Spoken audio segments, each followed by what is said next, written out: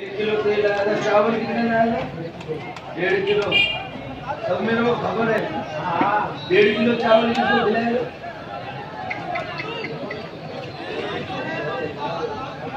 रात के टाइम डेढ़ किलो लेके आए सुबह किसको तो खिलाया जो सुबह पकेगा